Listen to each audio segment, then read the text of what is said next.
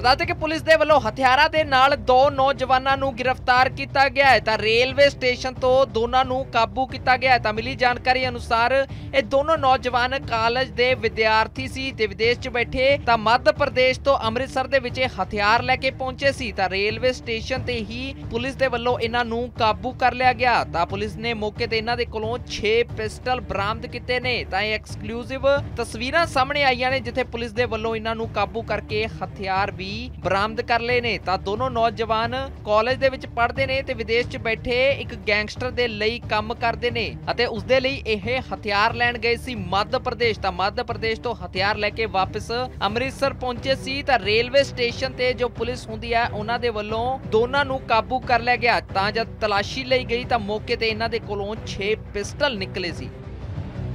ਦੱਸਦੇ ਕਿ ਪੁਲਿਸ ਦੇ ਵੱਲੋਂ ਹਥਿਆਰਾਂ ਦੇ ਨਾਲ ਦੋ ਨੌਜਵਾਨਾਂ ਨੂੰ ਗ੍ਰਿਫਤਾਰ ਕੀਤਾ ਗਿਆ ਹੈ। ਤਾਂ ਰੇਲਵੇ ਸਟੇਸ਼ਨ ਤੋਂ ਦੋਨਾਂ ਨੂੰ ਕਾਬੂ ਕੀਤਾ ਗਿਆ ਹੈ। ਤਾਂ ਮਿਲੀ ਜਾਣਕਾਰੀ ਅਨੁਸਾਰ ਇਹ ਦੋਨੋਂ ਨੌਜਵਾਨ ਕਾਲਜ ਦੇ ਵਿਦਿਆਰਥੀ ਸੀ ਤੇ ਵਿਦੇਸ਼ 'ਚ ਬੈਠੇ। ਤਾਂ ਮੱਧ ਪ੍ਰਦੇਸ਼ ਤੋਂ ਅੰਮ੍ਰਿਤਸਰ ਦੇ ਵਿੱਚ ਹਥਿਆਰ ਲੈ ਕੇ ਪਹੁੰਚੇ ਸੀ। ਤਾਂ ਰੇਲਵੇ ਸਟੇਸ਼ਨ ਤੇ ਹੀ ਪੁਲਿਸ ਦੇ ਵੱਲੋਂ ਇਹਨਾਂ ਨੂੰ ਕਾਬੂ ਕਰ ਲਿਆ ਗਿਆ। ਤਾਂ ਪੁਲਿਸ ਨੇ ਮੌਕੇ ਤੇ ਇਹਨਾਂ ਦੇ ਕੋਲੋਂ 6 ਪਿਸਟਲ ਬਰਾਮਦ ਕੀਤੇ ਨੇ। ਤਾਂ ਇਹ ਐਕਸਕਲੂਸਿਵ ਤਸਵੀਰਾਂ ਸਾਹਮਣੇ ਆਈਆਂ ਨੇ, ਜਿੱਥੇ ਪੁਲਿਸ ਦੇ ਵੱਲੋਂ ਇਹਨਾਂ ਨੂੰ ਕਾਬੂ ਕਰਕੇ ਹਥਿਆਰ ਵੀ ਬਰਾਮਦ ਕਰ ਲਏ ਨੇ। ਤਾਂ ਦੋਨੋਂ ਨੌਜਵਾਨ ਕਾਲਜ ਦੇ ਵਿੱਚ ਪੜ੍ਹਦੇ ਨੇ ਤੇ ਵਿਦੇਸ਼ 'ਚ ਬੈਠੇ ਇੱਕ ਗੈਂਗਸਟਰ ਦੇ ਲਈ ਕੰਮ ਕਰਦੇ ਨੇ ਅਤੇ ਉਸ ਦੇ ਲਈ ਇਹ ਹਥਿਆਰ ਲੈਣ ਗਏ ਸੀ ਮੱਧ ਪ੍ਰਦੇਸ਼। ਤਾਂ ਮੱਧ ਪ੍ਰਦੇਸ਼ ਤੋਂ ਹਥਿਆਰ ਲੈ ਕੇ ਵਾਪਸ ਅੰਮ੍ਰਿਤਸਰ ਪਹੁੰਚੇ ਸੀ। ਤਾਂ ਰੇਲਵੇ ਸਟੇਸ਼ਨ ਤੇ ਜੋ ਪੁਲਿਸ ਹੁੰਦੀ ਹੈ ਉਹਨਾਂ ਦੇ ਵੱਲੋਂ ਦੋਨਾਂ ਨੂੰ ਕਾਬੂ ਕਰ ਲਿਆ ਗਿਆ। ਤਾਂ ਜਦ ਤਲਾਸ਼ੀ ਲਈ ਗਈ ਤਾਂ ਮੌਕੇ ਤੇ ਇਹਨਾਂ ਦੇ ਕੋਲੋਂ 6 ਪਿਸਟਲ ਨਿਕਲੇ ਸੀ।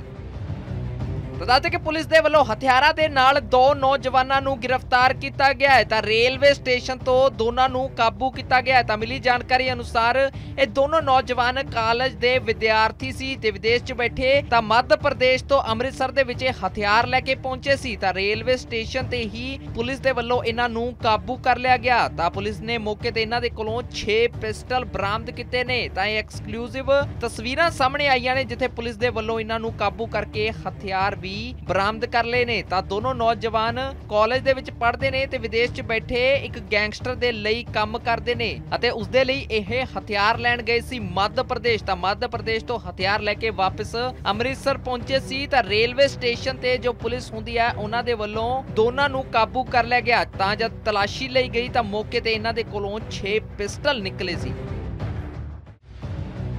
ਦੱਸਦੇ ਕਿ ਪੁਲਿਸ ਦੇ ਵੱਲੋਂ ਹਥਿਆਰਾਂ ਦੇ ਨਾਲ ਦੋ ਨੌਜਵਾਨਾਂ ਨੂੰ ਗ੍ਰਿਫਤਾਰ ਕੀਤਾ ਗਿਆ ਹੈ। ਤਾਂ ਰੇਲਵੇ ਸਟੇਸ਼ਨ ਤੋਂ ਦੋਨਾਂ ਨੂੰ ਕਾਬੂ ਕੀਤਾ ਗਿਆ ਹੈ। ਤਾਂ ਮਿਲੀ ਜਾਣਕਾਰੀ ਅਨੁਸਾਰ ਇਹ ਦੋਨੋਂ ਨੌਜਵਾਨ ਕਾਲਜ ਦੇ ਵਿਦਿਆਰਥੀ ਸੀ ਤੇ ਵਿਦੇਸ਼ 'ਚ ਬੈਠੇ। ਤਾਂ ਮੱਧ ਪ੍ਰਦੇਸ਼ ਤੋਂ ਅੰਮ੍ਰਿਤਸਰ ਦੇ ਵਿੱਚ ਹਥਿਆਰ ਲੈ ਕੇ ਪਹੁੰਚੇ ਸੀ। ਤਾਂ ਰੇਲਵੇ ਸਟੇਸ਼ਨ ਤੇ ਹੀ ਪੁਲਿਸ ਦੇ ਵੱਲੋਂ ਇਹਨਾਂ ਨੂੰ ਕਾਬੂ ਕਰ ਲਿਆ ਗਿਆ। ਤਾਂ ਪੁਲਿਸ ਨੇ ਮੌਕੇ ਤੇ ਇਹਨਾਂ ਦੇ ਕੋਲੋਂ 6 ਪਿਸਟਲ ਬਰਾਮਦ ਕੀਤੇ ਨੇ। ਤਾਂ ਇਹ ਐਕਸਕਲੂਸਿਵ ਤਸਵੀਰਾਂ ਸਾਹਮਣੇ ਆਈਆਂ ਨੇ, ਜਿੱਥੇ ਪੁਲਿਸ ਦੇ ਵੱਲੋਂ ਇਹਨਾਂ ਨੂੰ ਕਾਬੂ ਕਰਕੇ ਹਥਿਆਰ ਵੀ ਵੀ ਬਰਾਮਦ ਕਰ ਲਏ ਨੇ। ਤਾਂ ਦੋਨੋਂ ਨੌਜਵਾਨ ਕਾਲਜ ਦੇ ਵਿੱਚ ਪੜ੍ਹਦੇ ਨੇ ਤੇ ਵਿਦੇਸ਼ 'ਚ ਬੈਠੇ ਇੱਕ ਗੈਂਗਸਟਰ ਦੇ ਲਈ ਕੰਮ ਕਰਦੇ ਨੇ ਅਤੇ ਉਸ ਦੇ ਲਈ ਇਹ ਹਥਿਆਰ ਲੈਣ ਗਏ ਸੀ ਮੱਧ ਪ੍ਰਦੇਸ਼। ਤਾਂ ਮੱਧ ਪ੍ਰਦੇਸ਼ ਤੋਂ ਹਥਿਆਰ ਲੈ ਕੇ ਵਾਪਸ ਅੰਮ੍ਰਿਤਸਰ ਪਹੁੰਚੇ ਸੀ। ਤਾਂ ਰੇਲਵੇ ਸਟੇਸ਼ਨ ਤੇ ਜੋ ਪੁਲਿਸ ਹੁੰਦੀ ਹੈ ਉਹਨਾਂ ਦੇ ਵੱਲੋਂ ਦੋਨਾਂ ਨੂੰ ਕਾਬੂ ਕਰ ਲਿਆ ਗਿਆ। ਤਾਂ ਜਦ ਤਲਾਸ਼ੀ ਲਈ ਗਈ, ਤਾਂ ਮੌਕੇ ਤੇ ਇਹਨਾਂ ਦੇ ਕੋਲੋਂ 6 ਪਿਸਟਲ ਨਿਕਲੇ ਸੀ।